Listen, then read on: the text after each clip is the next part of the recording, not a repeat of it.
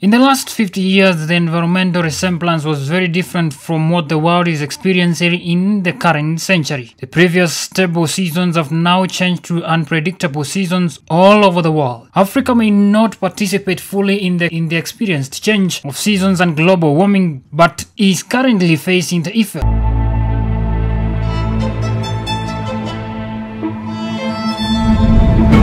However, human activity in developing countries in Africa has now accelerated the process. This has caused drying up of water sources with no signs of refillment due to the change of seasons. Growing cities across Africa have now caused pollution of the few remaining water sources with poor sewage treatment and disposal. Continuous human activity is now causing the depletion of natural forests that are the main climatic controls. In Kenya, the extinct of climate and natural forests is accelerated by the strive to cope up with the international development. Nairobi, the capital city of the country, had the best climate climatic condition previously, surrounded by permanent rivers and water flows. Is up to date. Most of the tributaries passing through the city have dried up and the rest with little water have been immensely polluted by the city's activity. The change in climate in the city is estimated to be vehicle pollution and industrial action. The effort of the government to reduce pollution into the water streams has not yet borne effects since waters are still black. In the next 50 years, if the right actions is not taken, water sources will dry up and human survival will depend on underground water, which is having a threat to finish up in the developed countries as contained in the United Nations findings.